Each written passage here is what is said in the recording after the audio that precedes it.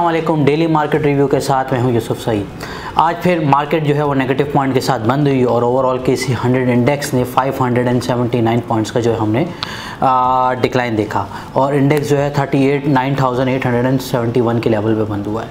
जब सुबह market open हुई तो इंडेक्स पॉजिटिव था और मार्केट में लेकिन एक्टिविटी स्लो डाउन थी, लेकिन जिस जैसे जैसे दिन गुजरता गया, खास तौर पे जो सेकंड हाफ़ था, उसके बाद हमने देखा कि ख़ास तौर पे आखिर के एक डेढ़ दो घंटे के अंदर कि मार्केट ने काफ़ी फ्री फॉल लिया और जो 500 से ज़्यादा पॉइंट जो है इंडेक्स के अंदर जो है डिक्लाइन आया। कुछ रीज़न सबसे पहले जो एक तो डॉलर जिस तरह स्ट्रॉन्ग हो रहा है और हमारी करेंसी जिस तरह डेप्रिशिएट हो रही है, वो आज भी कंटिन्यू है तकरीबन आज रुपये में जो है वो तकरीबन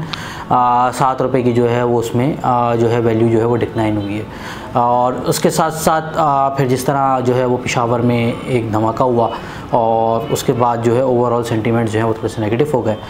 लेकिन आ, एक चीज़ जो पीछे ड्यूरिंग वीकेंड में हुई वो पैंतीस रुपये जो गवर्नमेंट ने डीजल और पेट्रोल की प्राइसेस जो है वो इंक्रीज़ की। इसके बाद जो है वो इन्फ्लेशन की एक आ, जो एक न्यू लहर है वो जो है वो आने वाले दिनों के अंदर आ, आ सकती है। इसके साथ साथ जिस तरह हमारी करेंसी डेप्रिशिएट हो रही है उसका इम्पैक्ट भी जो आने वाले दिनों में पेट्रोल प्राइसेस के ऊपर भी और इसके साथ साथ डिफरेंट जो दूसरी चीज़ें इन्फ्लेशन की फॉर्म के अंदर नज़र आएगा और उसका इम्पैक्ट ज़ाहिर बात है, फिर पॉलिसी रेट जो है वो फर्दर हम यहाँ से इंक्रीज़ होता हुआ देखते हैं। यही रीज़न थे जिसकी वजह से ओवरऑल मार्केट जो है वो इतना ज़्यादा अच्छा जो है आज के दिन परफॉर्म नहीं कर सकी। हालाँकि फिर एक दफ़ा फिर जो है रिफाइनरी के अप्रूवल से रिलेटेड जो है रिफाइनरी पॉलिसीज़ की अप्रूवल से रिलेटेड जो है वो न्यूज़ आ रही थी और यही वजह थी कि सी एनर्जी और पीआरएल जो है वो टॉप वॉल्यूम लीडर्स के अंदर जो है वो रहे हैं। लेकिन अब ये देखना होगा कि वाकई अप्रूव होती है पॉलिसी या आती है नहीं आती गवर्नमेंट अप्रूव करेगी जब फाइनल होगा दैन इसके बाद थोड़ा सा टाइम लगेगा, लेकिन जिस तरह की इस वक्त इकोनॉमिक सिचुएशन है, वो थोड़ी जो है, वो एक बड़ी कंसर्निंग है। ख़ासतौर पर एम की अगर हम डिमांड वगैरह जिस तरह फुलफ़िल कर रहे हैं डिमांड मानते हैं, यहाँ पे फर्दर जो एक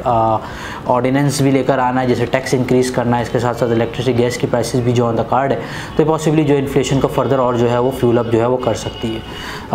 Overall O G D C P P L भी आज जो है top pick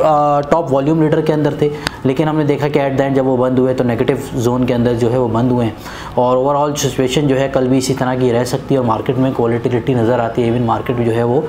वीक भी नज़र आते हैं जिस तरह की इकनॉमिक सिचुएशन और हालात जिस तरह के चल रहे हैं। ये देखना होगा कि डॉलर कहाँ जाके रुकता है और कब पाकिस्तान के पास इन्फ्लूज आते हैं जो इसको जो है वो सपोर्ट कर सके। तो मेरे ख्याल से कल भी जो है मार्केट वॉलेटाइल रह सकती है। Thank you